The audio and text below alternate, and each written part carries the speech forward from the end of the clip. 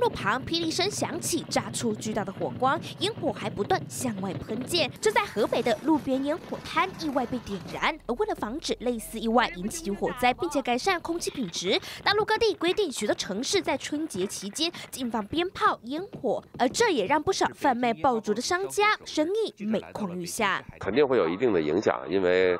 可能国家这块管控也是比较严格，老百姓的燃放这块呢更加规矩了，不是随时随地都可以放。今年北京市被允许合法贩售烟火鞭炮的店家，比起二零一八年大幅减少将近六成，产品价格下跌，让不少业者叫苦连天。还有从二零一九年政府刚开始扩大禁放范围，北京五环内全面禁止，在郊区还规划了禁放区。更重要的是，连买相关产品都必须扫描身份证进行实名制购买。堪称史上最严的禁燃令，我觉得挺好。吃身份证，空气污染。你要说不放吧，缺少点年味儿；放的吧，太多了也不好。其实现在更多那种电子礼花可能也有了，可能我觉得慢慢取代这个传统烟花，可能也是一个趋势吧。大陆官方对于首都放鞭炮的态度，从一九八七年明令限制，二零零五年开放，二零零九年央视新大楼因为新年鞭炮一把火烧光后引起社会讨论。从二零一七年开始，北京五环内禁止燃放，到今年开始实施最严格的禁燃令。